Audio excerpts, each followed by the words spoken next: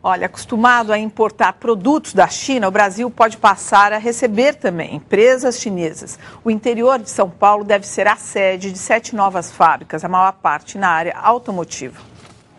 Primeiro foram as prateleiras do varejo, agora é o chão de fábrica.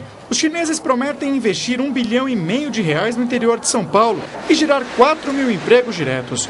Sua fabricante desses carros projeta uma linha de montagem de 660 milhões de reais em Jacareí.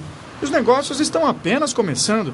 A Câmara de Comércio Brasil-China recebe por mês duas delegações de empresários chineses. A Câmara trabalha para quebrar esse preconceito e para ajudar é, o empresário brasileiro a enxergar a China de outra maneira, especialmente como um potencial mercado para exportação. Em apenas 10 anos, a China deixou de ser o 14º país em relações comerciais com o Brasil para assumir a primeira posição.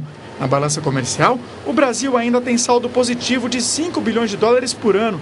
Mas enquanto embarca matéria-prima, principalmente soja e minério de ferro, importa produtos acabados, com valor final muito mais alto. Difícil é convencer os empresários da indústria nacional de que negócio da China é bom também para brasileiro. Nesta fábrica de válvulas, estas máquinas estão paradas desde 2009 e a razão é muito simples a fábrica não consegue competir com o produto chinês. Nos últimos três anos, a empresa teve uma queda de 40% no faturamento. Empregava 180 pessoas e agora tem 110 funcionários. Sem ter como baixar mais os gastos, o dono se rendeu. Passou a importar essa peça da China, barateou a produção e diminuiu em 30% o valor final do produto. Para poder ter um pouquinho de competitividade aqui no mercado nacional. Se não, senão você fecha a fábrica. A mão de obra barata, a moeda desvalorizada frente ao dólar por decisão do governo e os ganhos de escala tornam a China uma competidora quase imbatível.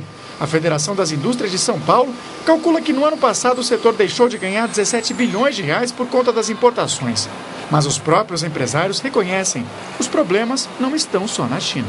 O mais importante hoje é que o governo reduzisse os encargos sobre a mão de obra, sobre os produtos, a carga tributária é elevadíssima.